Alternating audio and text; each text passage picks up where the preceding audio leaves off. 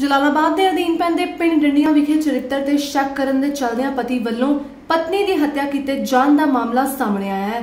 ਉਧਰ ਸਦਰ ਥਾਣਾ ਪੁਲਿਸ ਨੇ ਲਾਸ਼ ਨੂੰ ਕਬਜ਼ੇ ਵਿੱਚ ਲੈ ਕੇ ਪੋਸਟਮਾਰਟਮ ਲਈ ਫਾਜ਼ਿਲਕਾ ਭੇਜ ਦਿੱਤਾ ਹੈ ਅਤੇ ਔਰਤ ਦੇ ਭਰਾ ਦੇ ਬਿਆਨਾਂ ਤੇ ਬਲਵੰਤ ਸਿੰਘ ਖਿਲਾਫ ਮਾਮਲਾ ਦਰਜ ਕਰ ਲਿੱਤਾ ਹੈ। ਉਹਨੂੰ ਆਪਦੇ ਘਰ ਵਾਲੇ ਚਾਚੂ ਦੇ ਸ਼ੱਕ ਸੀ।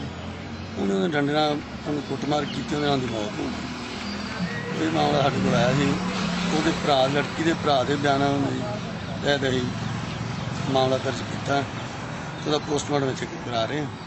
ਉਸ ਤੋਂ ਅੱਗੇ ਜੋ ਜੋ ਵੀ ਤਫਤੀਸ਼ ਚੱਲੇਗੀ ਜੋ ਆਊਗਾ, ਉਹਦੇ ਮੁਤਾਬਕ ਕਾਰਵਾਈ ਅਮਲ ਚ ਫਾਜ਼ਿਲਕਾ ਤੋਂ ਕੈਮਰਾਮੈਨ ਸੁਰਿੰਦਰ ਦੇ ਨਾਲ ਇੰਦਰਜੀਤ ਸਿੰਘ ਦੀ ਰਿਪੋਰਟ ਚੈਨਲ 2